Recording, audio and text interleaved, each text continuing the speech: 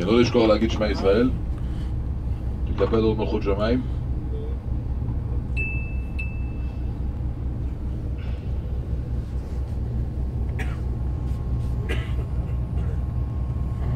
אתמול אמרנו בהתוועדות את העניין הזה שהרב הרש"ב פתח צינור חדש שהיום ילד קטן יכול להגיע למצב שיהיה לו אהבה לקדוש ברוך הוא ושכל העניין הזה של אלוקות יהפוך להיות אצלו המושגים האהובים אצלו.